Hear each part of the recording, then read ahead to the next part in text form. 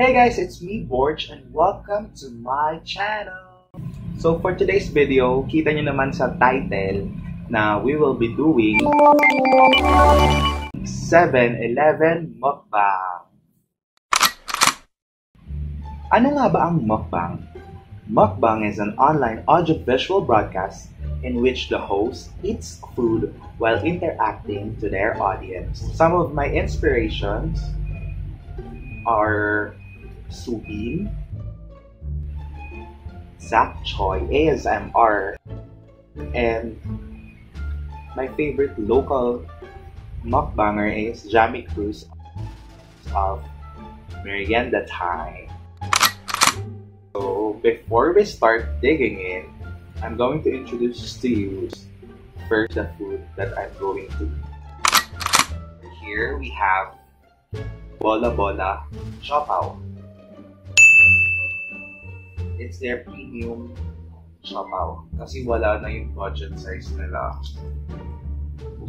Then this one is the asado. Asado siopaw. Premium din siya. Then over here, we have their hot dog sandwich.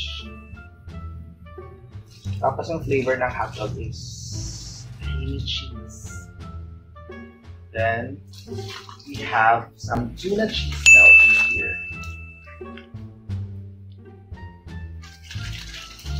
Then, four pieces of chicken nuggets. Ito yung bagong product nila. Yung chicken nuggets and their fried chicken. This one is their crunch time fried chicken. Looks yummy and crunchy.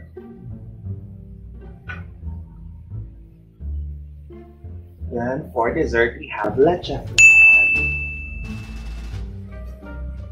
We also have chicken macaroni salad. Then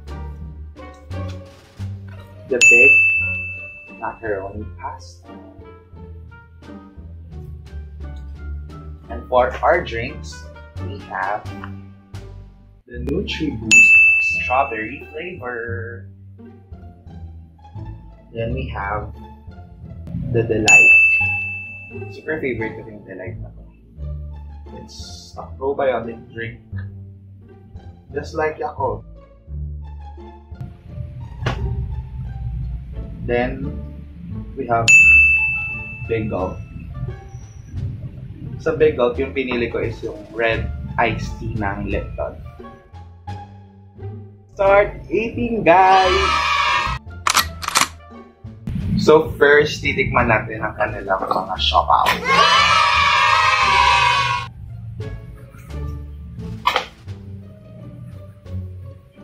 So, ito yung siopaw sauce.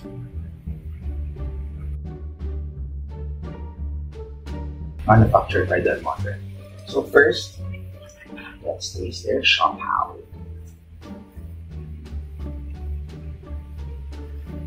Ooh. Ah, ito pala yung bola-bola. Damn, look at that.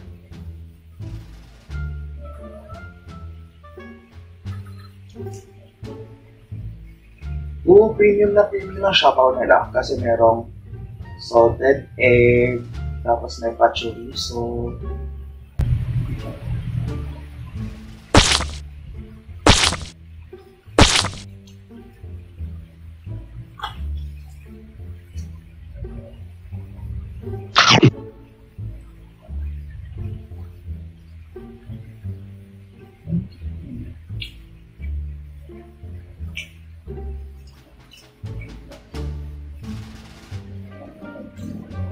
Ang sarap na siopaw nila. Sarap. Hindi ka tulad ng ibang mga dough ng siopaw. Sobrang dry. Tapos, nakakaumay na siya kanina. Pero sobrang moist. Siguro, dahil na rin nakababad siya sa steamer.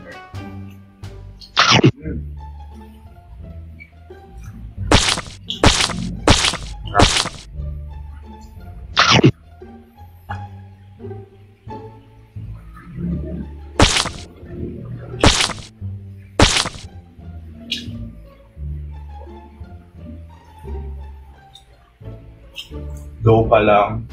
Busog ka na.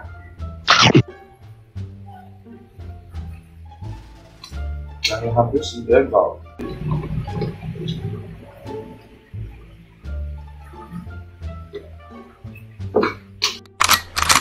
Let's taste the asado.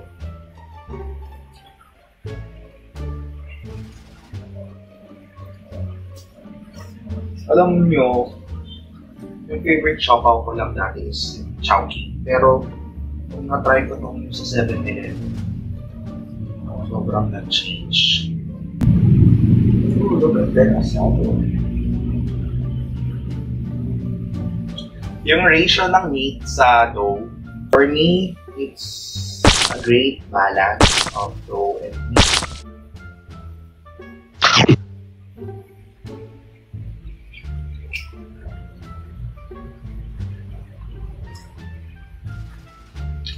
Sarap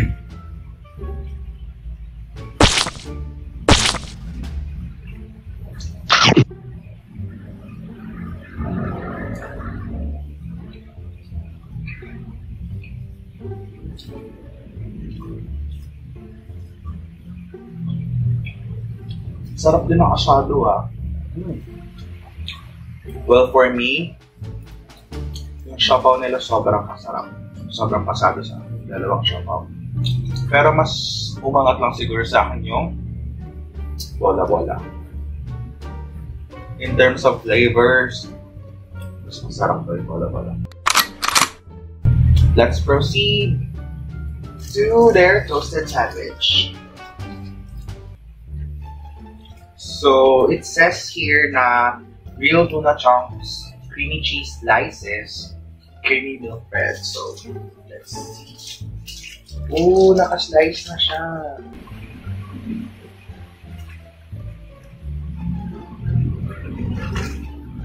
Look at this one. Ta-da!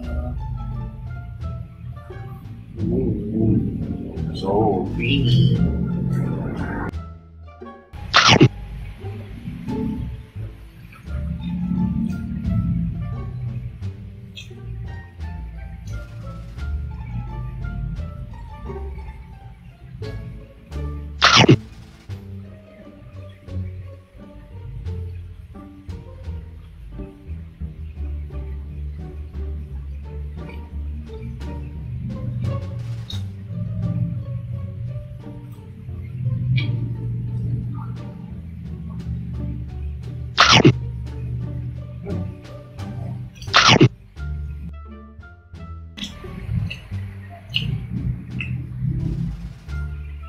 Ganito din ba kayo kumain ng bread? Yung iniwan niyo yung side.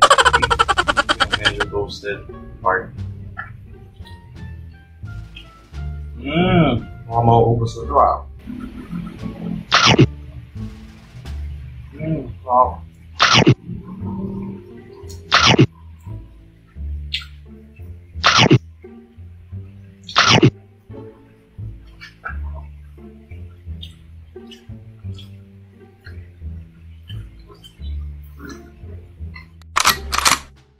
And for our hot, hot dog sandwich, we have here Manhattan, Manhattan dressing.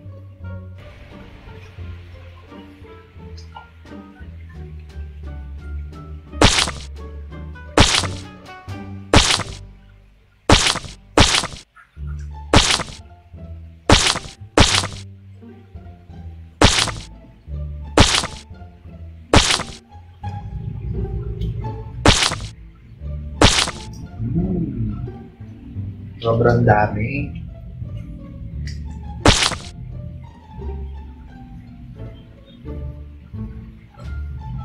Then you can also put ketchup. Tomato blend ketchup.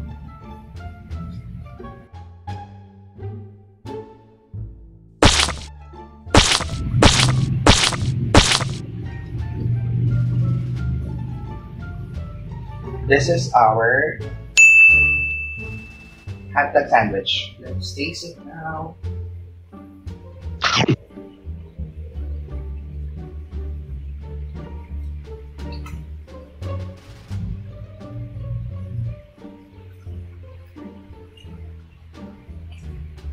They ask you how you are, you just have to say that you're fine when you're not really fine.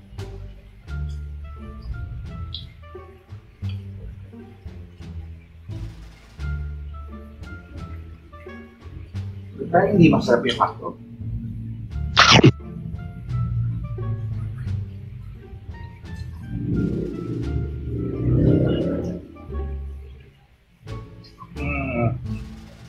So, pagod ako sa hotdog sandwich. Hindi ko siya nagustuhan. Parang may may mga lumps sa hotdog pag kinakagat mo may mga. Or na-overpower lang ng siopaw at saka ng ng tuna cheese melt. Dapat pala siya yung inuna natin para hindi siya nasapawan sa flavor. Okay, let's proceed to this one. The chicken macaroni salad. Ooh, it's my first time ordering this one. Mmm. Smells premium.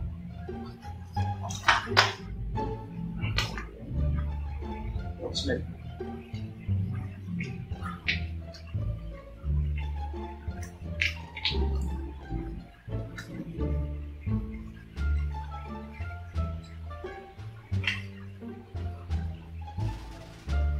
So, sa chicken macaroni salad nila, syempre, mayroong macaroni,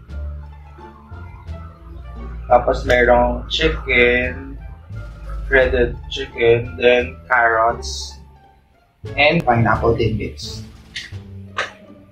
So, let's taste.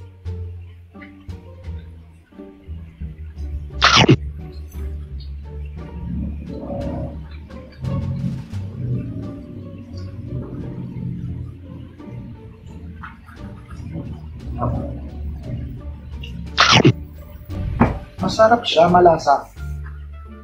Pero, nakukulangan lang ako sa mayonnaise.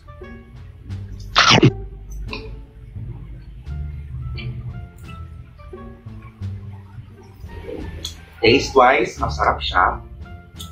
Masarap siya. Yun lang. Medyo kulang lang siya sa mayonnaise.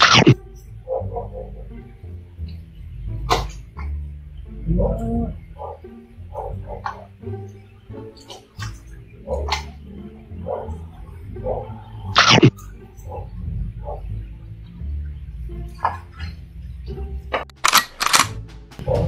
pabalik na ako sa Bola Bola. Sobrang sarap kasi.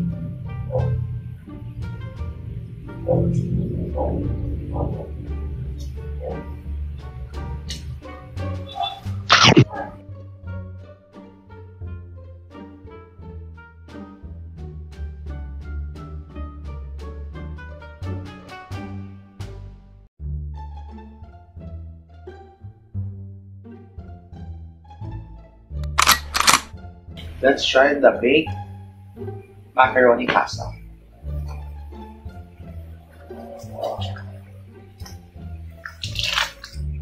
Ooh. Ooh, may garlic bread.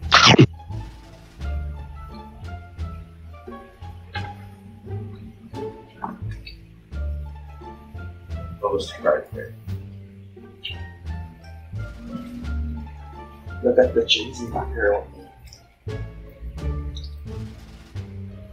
Mix muna natin.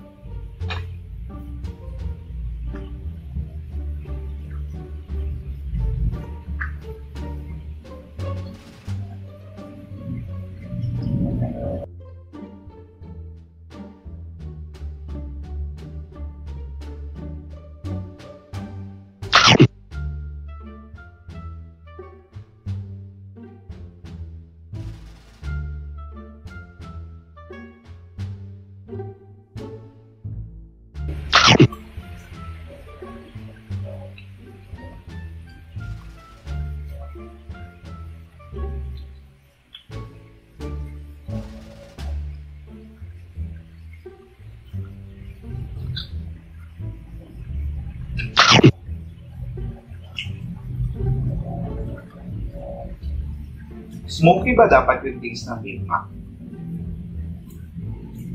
Medyo smoky or nag overpower yung taste ng ham. Kaya mas naglasang smoky siya. Mm. Gusto ko kasi dito yung medyo sweet at saka medyo cheesy.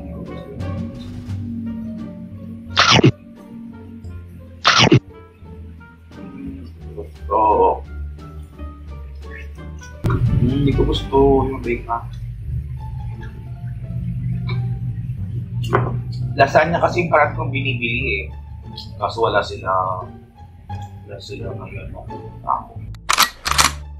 So next, their new product line, which is the Crunch Time. So I have gravy for the chicken nuggets.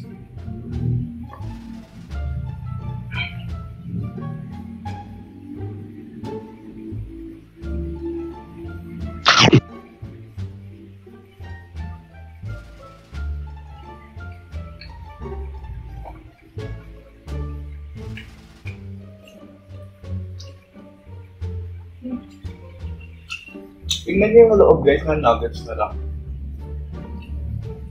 Parang puro extenders lang, walang hindi siya pure meat.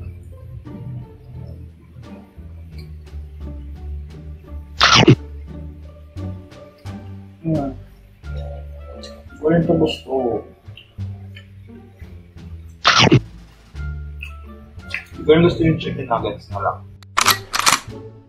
Abangan nyo din guys sa channel ko yung Food Fight.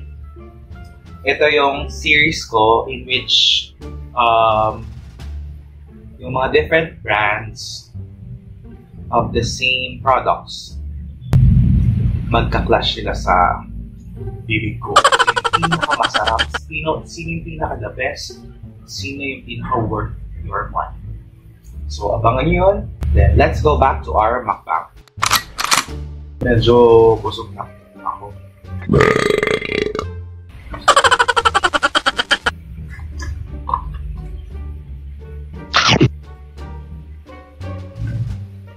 May pickles din pala to guys, kaya medyo masarap siya.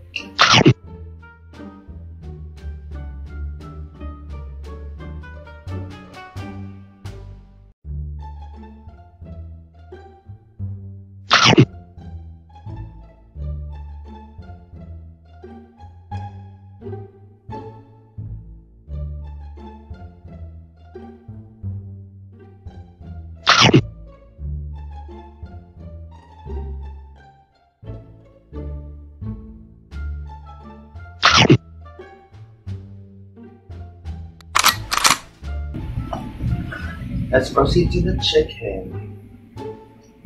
Wow, vlogger.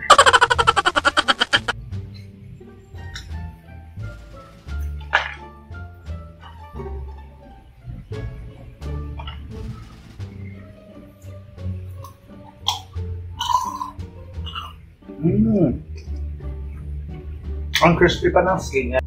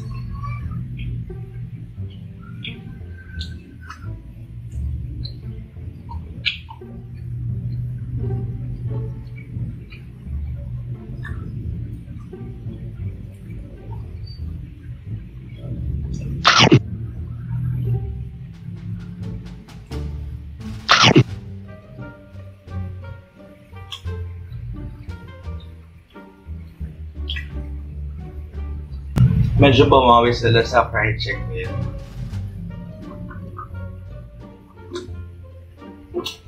Nabawi niya yung pagkalugmok ng chicken nuggets.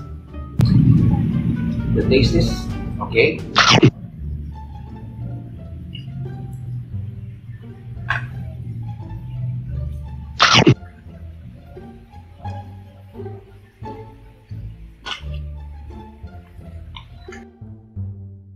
Hindi maalat yung breading ng chicken kaya it's good.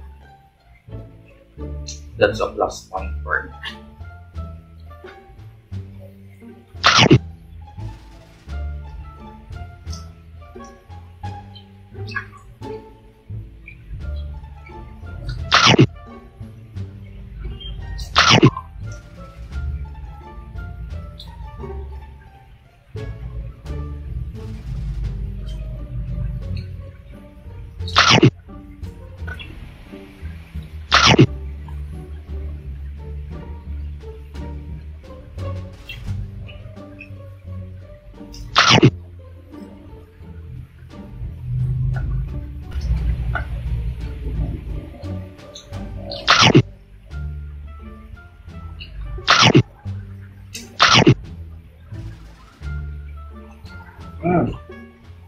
Yung chicken na lang.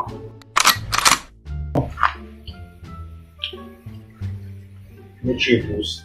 Guys, sobrang sarap nito. Promise. Try nyo to. Let's shake, shake, shake.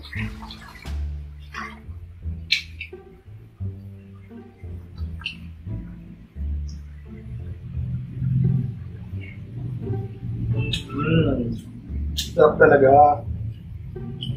Na-discover ko lang to kasi last December, nung pauwi ako ng Palawan, yung Grab na nasakyan ko, meron silang promo. Um, every time na sasakay ka ng Grab, may binibigay silang ganito, nudge boost. During that time, binigyan ako ng dalawang ganito. So, before I leave for airport, may baon akong dalawang ganito strawberry. So, yun. Nung natikman ko na, sobrang nagustuhan ko siya. Kaya, hinanap ko siya. Good thing meron siya sa 7-Eleven. For last, drink the delight. Oh my God.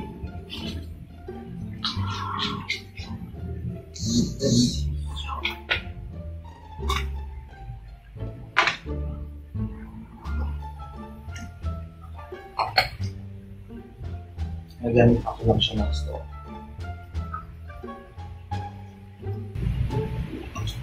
Ko alam kung bakit ganito kalaki. Kasi 'di ba, yung Yakult, yung mga yung sizes nila maliliit lang. Yung recommended intake nga lang Yakult, 'di ba, parang one bottle per day lang. Tapos this one, sobrang laki niya. Masarap siya. Meron pa palang dessert. Mm. Dessert, the leche flan. Medyo busog na ako. Pag nagmamukbang ba, kailangan ubusin.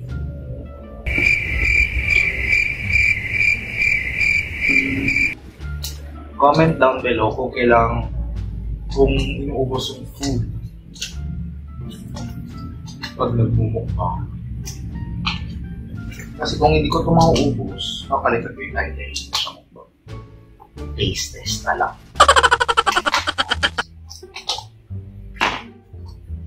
So this is the leche. Shit. Hala siya nagbuhos. Where's my spoon?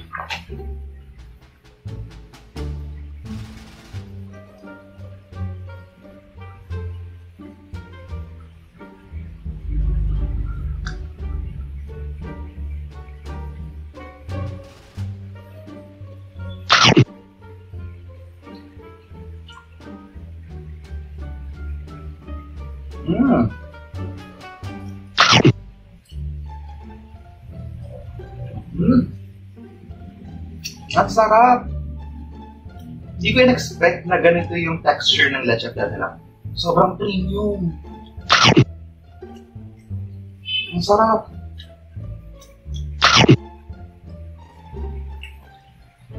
Mm. The best to. Oh my God! Ang sarap! Saving grace to ng 7-Eleven.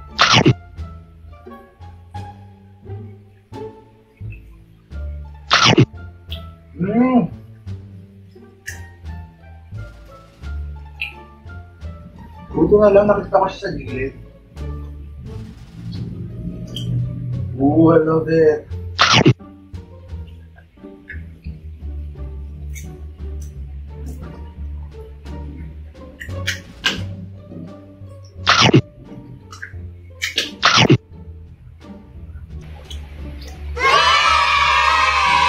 Sobrang hindi ko yung na, na ganun ka-creamy yung leche flan nila.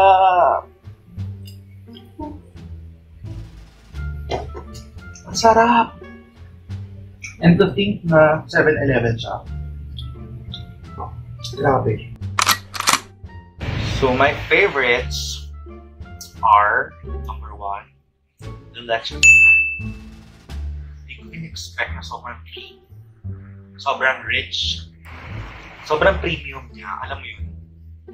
To think na, na 7-Eleven na siya na siopaw asado. Second ko yung siopaw asado. Sobrang sobrang sarap ng feeling niya sa loob. Tapos generous amount of meat. So, number two ko yun. And my third favorite is this one. The Nutrius strawberry flavor. These are my three favorites from 7-Eleven. That's it for my mukbang video. Don't forget to subscribe to my channel.